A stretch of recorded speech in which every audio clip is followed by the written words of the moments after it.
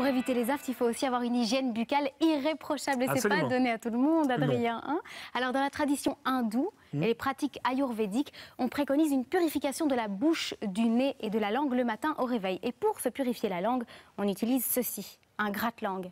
Je vous le fais Oh, mais attendez, il a servi à qui avant? À personne, je viens de le déballer. Je vous promets. C'est en quelle matière? Oh, je n'oserais jamais, c'est en cuivre. C'est du cuivre? C'est du cuivre. Hop, allez-y, ouvrez la langue. Et on gratte. C'est horrible. on gratte. En fait, c'est un petit objet donc, qui permet euh, de prévenir la mauvaise haleine, de- d'éliminer la flore bactérienne tout en renforçant euh, la bonne santé de la bouche et l'immunité. On y revient, mon petit Adrien. Donc tous les jours, ça? Voilà. On utilise ça? Oui, on l'utilise tous les jours. On se gratte la langue en Inde depuis 6000 ans environ. Il paraît que ça améliore aussi le fonctionnement des papilles gustatives. Voilà. Quelle bonne info, Gwen, merci beaucoup. On va se retrouver dans quelques instants, on aura encore l'occasion de parler avec vous euh, de votre santé, de votre bien-être. Avant ça, une courte page de réclame, et puis on cuisine évidemment. Et qu'est-ce qu'on cuisine aujourd'hui? Vous vous souvenez ou pas? Euh, du poireau. Déjà, on parlait un peu maintenant des migraines, Adrien, puisque c'est important, le doc l'a dit, de faire la différence entre une migraine et une céphalée de tension. Est-ce qu'on peut dire migraine? Entre une migraine et une céphalée de tension.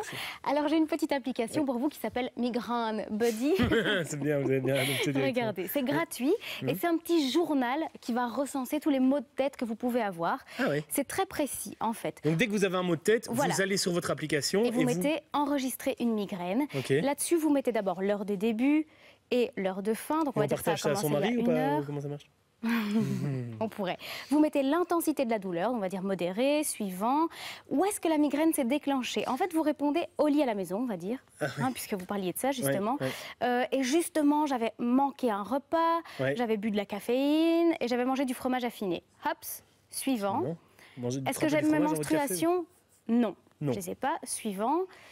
Euh, Est-ce que je l'ai senti venir cette migraine? Bah, je, je me sentais un peu faible, j'ai baillé j'étais irritable. un- C'est hyper précis en fait. Une anamnèse. Éprouvez-vous l'un de ces symptômes? Douleur lancinante, oui, c'est plutôt lancinant. Et euh, je suis très sensible au bruit. D'accord. On continue. Est-ce que j'ai pris un médicament? Non. j'ai rien pris, aucun médicament. Suivant. C'est long. Qu'en est-il de ces méthodes de soulagement? Donc oui, en fait, c'est super long. Mais vous répondez à plein de questions comme ça et c'est super parce que voilà, vous mettez où vous avez, enfin, dans quelle zone vous avez mal. Et ça fait un petit bilan à la fin du mois, par exemple. Voilà. On, peut, on peut un peu euh, se rendre compte de tout ça et on peut le partager au Oui. médecin éventuellement. Vous le partagez au médecin et puis vous, ça va vous aider à identifier aussi ces moments où c'est plus compliqué. Sur la page d'accueil, en fait, vous avez un petit euh, journal qui, qui- qui va vous expliquer, qui va vous donner des statistiques sur vos maux de tête. Là, on ne l'a pas parce que je ne l'ai pas euh, testé suffisamment longtemps et j'ai pas suffisamment de maux de tête.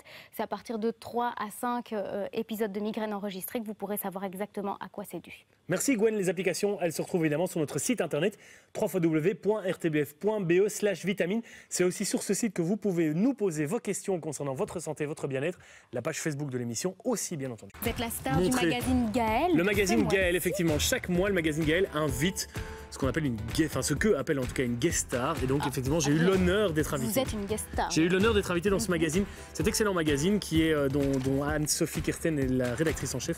Et donc j'ai pu euh, répondre à pas mal de questions et Vous parler avez pas un mal de petit choses. portrait d'Adrien et puis vous retrouvez toute l'équipe de l'émission Vitamine aussi Ça c'est très pour important. répondre à des, des questions, des, des infos intox. hein. sur la santé, on véhicule souvent des, Vous informations qui ou- sont fausses. Oui. Et donc le docteur, Alexandra ou Chloé et bien d'autres, Charlotte aussi. Charlotte aussi, vont euh, un peu euh, démystifier ces informations. Absolument, vous devez vous procurer ce magazine, il est vraiment très bien. On va parler du TDAH aussi dans ce magazine et je remercie donc euh, Alexandre euh, et je remercie donc Anne-Sophie Kirsten et Cynthia Isarelli qui ont contribué à ce magnifique magazine. Bravo, hein